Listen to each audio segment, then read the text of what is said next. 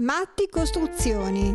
Dal 1958 immobili di pregio in Oltrepo Pavese e nella Riviera Ligure. Come le nuove ed eleganti palazzine con finiture prestigiose e personalizzabili.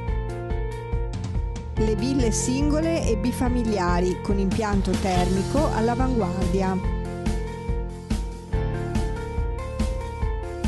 La prestigiosa Villa Manila a pochi metri dal mare di Varazze.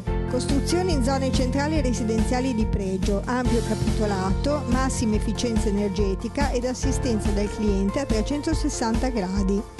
Contattaci, ti aspettiamo a Voghera in via Meucci 5. Partirà mercoledì 28 giugno il Buglie Pupe Summer Tour, una serie di serate benefiche all'insegna di spettacolari esibizioni di musica, teatro, danza e poesia, con protagonisti concorrenti della prima edizione del Talent di Jap TV. Il ricavato dell'ingresso d'offerta delle prime tre date annunciate, che si svolgeranno presso l'area esterna del ristorante Al Volo di Rivanazzano Terme, in via Baracca 8, zona aeroporto, sarà destinato al reparto di onco oncoematologia pediatrica del Policlinico San Matteo di Pavia, uno dei principali a livello nazionale sia per numero di pazienti in cura che per la complessità dei trattamenti in grado di fornire. È un reparto che si occupa della cura di bambini affetti da malattie del sangue in generale, da leucemie, eh, linfomi, anche tumori solidi.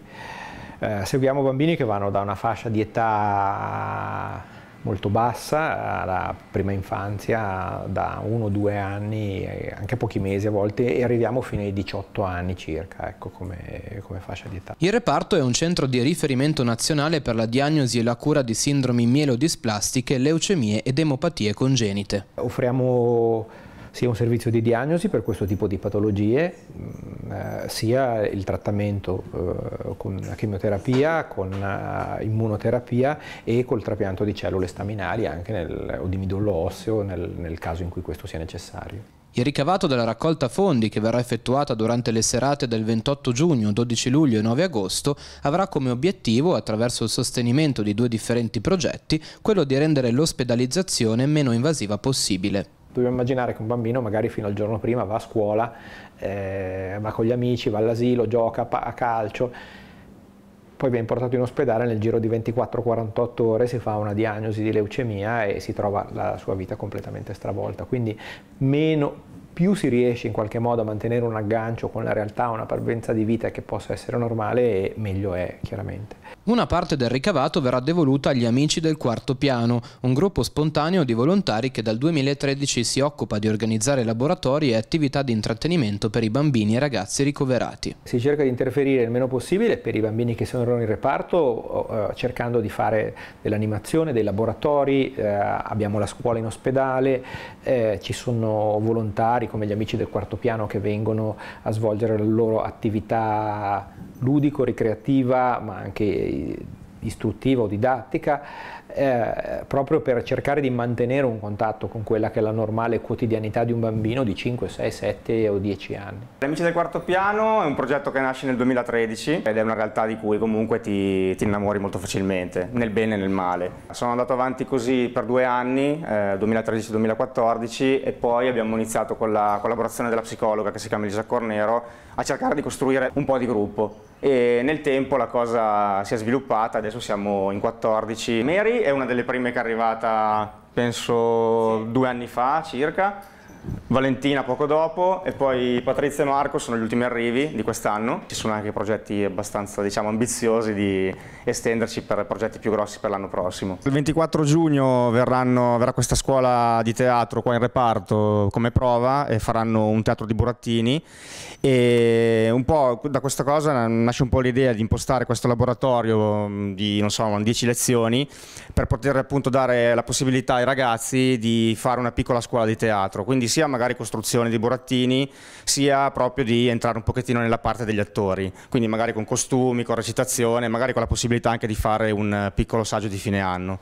E penso che sia una cosa importante anche per avere il contatto un pochettino con la realtà e per, per distrarsi, e penso che sia un'idea che potrebbe prendere, prendere piede soprattutto per i ragazzi un pochettino più grandi con cui è più difficile interagire e quindi ti parlo di quelli dai 16 anni in avanti. Questi ragazzi una sono una scuola di professionisti e quindi sarà anche piuttosto dispendioso dal punto di vista economico e quindi sicuramente un vostro contributo con l'iniziativa che state per mettere in atto sarà sicuramente una boccata d'aria fresca per noi. Il secondo progetto, già sostenuto dall'organizzazione umanitaria Sole Terre, prevede di ristrutturare e rinnovare il Day Hospital oncoematologico pediatrico, nato per effettuare trattamenti nell'arco di una giornata, evitando ai malati di dover trascorrere la notte in ospedale. L'altro aspetto è quello di ridurre il più possibile le degenze. Buona parte della chemioterapia al giorno d'oggi si può fare anche in regime outpatient, come si dicono gli inglesi, in regime di day hospital o di ambulatorio, arrivando la mattina e poi tornando a casa la sera. E poi un'altra cosa molto importante è